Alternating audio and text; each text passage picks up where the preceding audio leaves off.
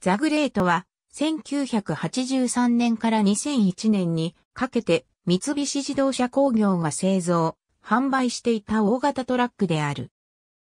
1983年に F シリーズのフルモデルチェンジの際に命名され、1996年にスーパーグレートが登場するまで大型車として製造されていたモデルである。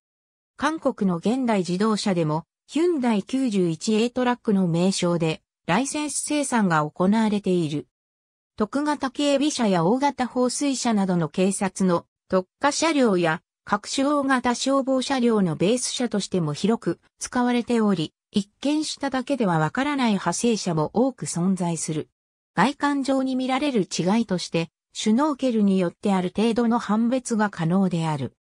シュノーケルの配置は3パターンあり、V8 自然吸気、シングルターボ、6D40 エンジン車が、左シュノーケル、ツインターボ車が、左右両側配置、6D22、6D24 エンジン車が、右シュノーケルとなっている。第19回大会のカミオンクラスに2大体制で参戦。